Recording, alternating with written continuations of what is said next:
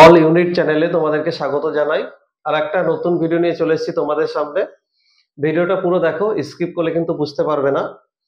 Class ইলেভেনে গত দু, তিন দিন ধরে আমরা কিছু ভিডিও পোস্ট করছি। সেখানে দেখবে কার্টের মতবাদ দিয়েছি লাপ্লাসের মতবাদ দিয়েছি, আর জিন্স জেফ্রি জোয়ারে যে মতবাদ, সেটা দিয়েছি। তো আরেকটা তোমাদের যে নতুন পড়া, সেটা হচ্ছে বিগ ব্যাং থিওরি দেখো, একটা সব থেকে বড় সমস্যা হচ্ছে বিগ ব্যাং থিওরিটির ডিটেলসটা অনেকটা বড়। যেটা অরিজিনালি কিন্তু গ্রাজুয়েশনে ছেলেমেয়েদের থাকে। তো তোমাদের ক্লাস ইলেভেনে যেহেতু সাবজেক্টটাই গত চার পাঁচ বছর ধরে দিয়েছে, তাহলে এখান থেকে এই বিগ ব্যাং থিওরির অরিজিনাল যে বিষয়টা, অর্থাৎ বিগ ব্যাং থিওরিটা কিন্তু অনেকটা বড়, সেই বড় থিওরিটা কিন্তু ক্লাস ইলেভেনের সবার ক্ষেত্রে প্রযোজ্য নয়। মানে প্রত্যেক ছেলেমেয়ের ক্ষেত্রে কিন্তু এটা বোঝে না। যার জন্য এটা শর্টকাট করে খুব শর্ট টাইমের মধ্যে আমি ভিডিওটা বানাচ্ছি, যাতে তোমরা বিগ ব্যাং এর ন্যূনতম একটা কনসেপ্ট তোমরা নিতে পারো। তো চলো এবার আমরা বিগ ব্যাং থিওরির আসল যে কথা, সেগুলো নিয়ে ডিসকাস করছি। তাহলে তোমাদের যেটা বললাম, দেখো বিগ ব্যাং থিওরি জানতে গেলে তোমাকে অনেকটা হিউজ পড়াশোনা করতে হবে। তো বিগ ব্যাং থিওরির অরিজিনাল যে বিষয়টা আমরা সেটাই বলছি, দেখো, যেটা তুমি সহজে বুঝতে পারবে। এখানে ধরে নেওয়া হচ্ছে পৃথিবী সৃষ্টি হওয়ার আগে মানে পৃথিবী, সূর্য, চাঁদ, যাই বলো না কেন, অর্থাৎ এই বিশ্ব ব্রহ্মাণ্ড সৃষ্টি হচ্ছে কোথা থেকে? বিগ ব্যাং থেকে। কোন একটা সময়, কোন একটা সময় বলতে কত বছর আগের কথা বলছি? তেরোশো সত্তর কোটি বছর আগে পৃথিবীর সমস্ত, অর্থাৎ সমস্ত বিশ্ব ব্রহ্মাণ্ড একটা ছোট্ট জায়গাতে স্থিমিত অবস্থায় ছিল, অর্থাৎ চাপা বা ছোট সংকীর্ণ অবস্থায় ছিল। তারপর সেখানে প্রথম ব্লাস্ট করেছিল। সেই ব্লাস্ট হওয়ার পরে আস্তে আস্তে আমাদের এই বিশ্ব ব্রহ্মাণ্ড সৃষ্টি হয়েছে। কয়েক সেকেন্ড যখন এই ব্লাস্ট হয়েছে, ওই কয়েক সেকেন্ডের মধ্যেই ইলেকট্রন প্রোটন নিউট্রন যেগুলো আছে আর কি, সেগুলো এক এক করে তৈরি হয়ে আজকে এই বড় পরিসরটা তৈরি হয়েছে। এটা প্রথম উনিশশো উনপঞ্চাশ সালে ফ্রেড হয়েল। প্রথম এটা কিন্তু, সে কিন্তু একটা মানে হাসির ছলে বলেছিল কথাটা, এই পৃথিবী সৃষ্টি ইতিহাস পড়াতে গিয়ে বা বলতে গিয়ে। পরে সেও যদি কথাটা তুলে নেয়, নিয়ে সে কিন্তু সুন্দর করে আবার কিন্তু আবার ব্যাখ্যা করে। যখন এই ব্লাস্ট হয়েছিল, তখন এই ব্লাস্টের তাপমাত্রা ছিল এক হাজার ট্রিলিয়ন ডিগ্রি এখানে এক হাজার ট্রিলিয়ন মানে বুঝতে পারছ তো? এখানে এক ট্রিলিয়ন মানে এক লক্ষ কোটি। তাহলে তার এক হাজার ডবল তাপমাত্রা মানে এত বেশি তাপমাত্রা ছিল যেটা তোমরা কল্পনাই করতে পারবে না। তারপরে আস্তে আস্তে তাপমাত্রা কিন্তু আস্তে আস্তে কমতে থাকে। আর এই ছোট যে জায়গাটা, এই ছোট জায়গাটা দেখো পরিসর হয়ে আস্তে আস্তে বাড়লো। তার কিছুদিন পর আরেকটু বাড়লো, তারও কিছুদিন পরে বাড়লো। এইভাবে বাড়তে বাড়তে বাড়তে বাড়তে আজকে টোটাল এই যে ডেটাটা তোমরা দেখতে পাচ্ছ, এটা দু হাজার দশ সালের ডেটা অনুযায়ী কথাটা বলছি। কারণ তারপরে এই নিয়ে তেমন আর এক্সপেরিমেন্ট হয়নি। কারণ এই বিষয়ে সব থেকে ভালো যে এক্সপেরিমেন্ট করেছিল তার নাম হচ্ছে স্টিফেন হকিংস। আশা করি তোমরা তাকে চেনো। আমি দেখাচ্ছি তাকে।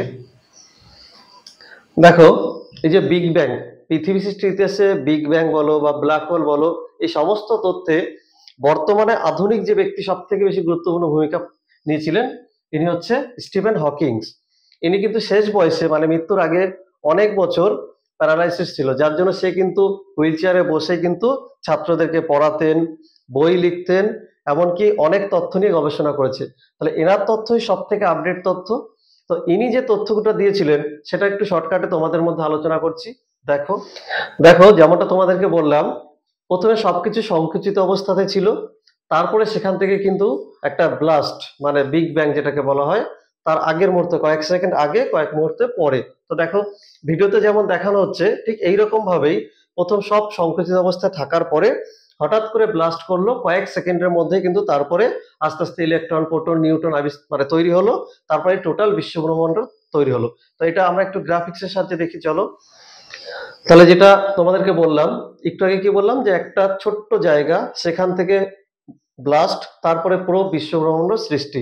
তো এটা যদি একটু ছবি আর গ্রাফিক্সের সাহায্যে দেখি, তো আমরা ছবিতে দেখি।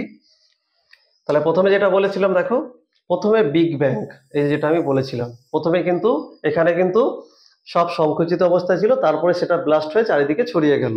তাহলে সেই মুহূর্তটা হচ্ছে এইটা। কোটি কোটি বছর আগে। এরপরে দেখো, আস্তে আস্তে মহাস্ফীত মানে আস্তে আস্তে তারপরে সেটা ছড়ালো। তাহলে যখন স্টার্ট হলো, তারপর থেকে ten to the power minus thirty two second মানে কয়েক মিলি সেকেন্ডে যদি আমি ভাগ করি মানে খুব অল্প সময়ের মধ্যে মানে একটা সেকেন্ড তাকে কয়েক হাজার সেকেন্ডে ভাগ করো, তারপরে যে টুকরো টুকরো সেকেন্ডগুলো পাবো, তার মধ্যে কিন্তু এই ঘটনাগুলো ঘটেছিল। তারপরে মহাবিশ্ব স্ফীত হয়েছিল, তারপরে এক মাইক্রো সেকেন্ড বুঝতে পেরেছ আমি কত শর্ট টাইমের কথা বলছি? এই এক মাইক্রো সেকেন্ড পরেই কিন্তু প্রোটনের উৎপত্তি হলো। তারপরে দেখো zero point zero one second তারপরে কি হলো? নিউক্লিয় সংযোজন আরম্ভ হলো। তার কুড়ি মিনিট পরে কিন্তু নিউক্লিয় সংযোজন সমাপ্তি হলো। মানে ইলেকট্রন, প্রোটন এগুলো কিন্তু অল্প অল্প তৈরি হলো। এরপর দেখো নিউক্লিয় সংযোজন সমাপ্তি হওয়ার পরে হাইড্রোজেন কণার উৎপত্তি সবার প্রথমে হলো। জানো যে হাইড্রোজেন আর হিলিয়াম কণায় কিন্তু সবার প্রথম দেখা গেছিল। যার জন্য এখানে ধারণা করা হচ্ছে যে হাইড্রোজেন আর হিলিয়াম কণা কিন্তু এখানে হাইড্রোজেনই প্রথম উৎপত্তি হয়েছিল। তারপর আজকে যে মহাবিশ্বটা তোমরা দেখতে পাচ্ছ, দেখো, তেরো পয়েন্ট সেভেন বিলিয়ন বছর। তাহলে তার আগের যে ঘটনাটা ঘটেছিল এখনের ঘটনা বললাম, এখন এই বর্তমানে তোমরা এই যে পুরো গ্যালাক্সিটা দেখতে পাচ্ছ, এই গ্যালাক্সিটা তৈরি হয়েছে। তাহলে এই বিগ ব্যাং থেকে ধাপে ধাপে ধাপে ধাপে কিন্তু আমাদের আজকের পৃথিবী তৈরি হয়েছে, বা আজকে সূর্য বলো, চাঁদ বলো, মঙ্গল বলো। তাহলে এটাই হচ্ছে সব থেকে মডার্ন থিওরি তোমরা যতগুলো থিওরি পড়েছো, জোয়ারি তত্ত্ব পড়েছো, কান্টের তত্ত্ব পড়েছো, লাপ্লাসের তত্ত্ব পড়েছো, নেবুলা তত্ত্ব পড়েছো, তারপরে আরও যে তথ্যগুলো ছিল সেগুলো তোমরা পড়েছো। তাহলে এর মধ্যে সব থেকে ইম্পর্টেন্ট যে তথ্য বা আপডেট যে তথ্য, সেটা হচ্ছে কিন্তু এই বিগ ব্যাং তথ্য। তাহলে এটা কিন্তু তোমাদের যেহেতু এমসিকিউ কোশ্চেন আসবে, তোমরা কনসেপ্টটা সহজে বোঝাবার জন্য ছবির সাহায্যে তোমাদেরকে বোঝানো হলো। ঠিক আছে, এরপরে আমরা এর পরবর্তী পার্ট পরের ভিডিওতে আলোচনা করব। আশা করি তোমরা যারা যারা ভিডিওগুলো দেখছ, তোমাদেরকে বলব তোমরা চ্যানেলটাকে অবশ্যই লাইক করো। আর চ্যানেলটাকে তোমরা সাবস্ক্রাইব করে রাখো। আর বন্ধুদের মধ্যে ছড়াও, যাতে এখন যারা ইলেভেনে পড়ছো, তোমাদের বন্ধুদের মধ্যে ভিডিও ছড়াতে পারে। আর শুধু যে ক্লাস ইলেভেনের ভিডিও পোস্ট করা হবে, তার এখানে কিন্তু নাইন টেন ইলেভেন টুয়েলভ চারটে ক্লাসেরই কিন্তু তোমরা এই ভিডিওগুলো পেয়ে যাবে। তাহলে আমরা নেক্সট আরেকটা ভিডিওর জন্য অপেক্ষাতে রইলাম।